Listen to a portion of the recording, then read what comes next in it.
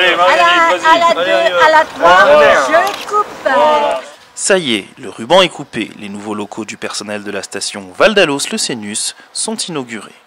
Grâce à ce bâtiment, les équipes en charge de l'entretien des pistes et des remontées mécaniques bénéficient désormais de conditions de travail optimales.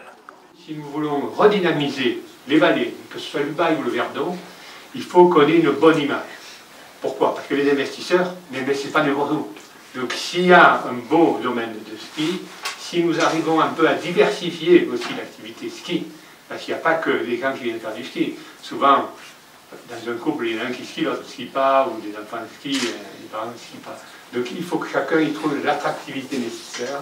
Et donc nous travaillerons avec vous pour faire en sorte que les projets que vous porterez puissent voir le jour. 6 millions d'euros, c'est ce que le département investit dans son plan neige.